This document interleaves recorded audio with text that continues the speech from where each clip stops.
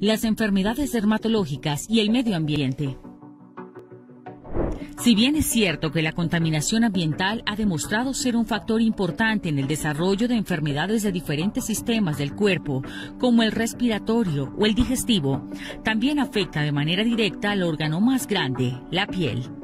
Algunos estudios médicos han demostrado la incidencia directa de las condiciones adversas del ambiente, como lo es la polución o la radiación ultravioleta en el desarrollo o empeoramiento de enfermedades dermatológicas, como la psoriasis y la dermatitis atópica.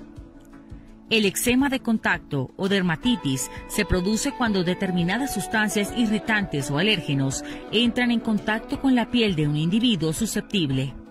Sin embargo, otros daños de la contaminación en la piel también se producen por lo que se conoce como estrés oxidativo, un deterioro celular y desajuste en el equilibrio de antioxidantes que puede terminar dañando las membranas de las células epiteliales y dejando la piel expuesta a diferentes agentes externos como las bacterias o microorganismos presentes en las partículas contaminantes. Se estima que en Puerto Rico 80.000 personas padecen de psoriasis, siendo más común en los adultos jóvenes. Algunas alternativas para cuidar nuestra piel de la contaminación ambiental y de la radiación es la higiene con productos dermatológicamente aprobados, el uso de protector solar, la hidratación constante y la utilización de humidificadores que purifiquen el ambiente circundante y mantengan una barrera protectora entre la contaminación del aire y nuestras células.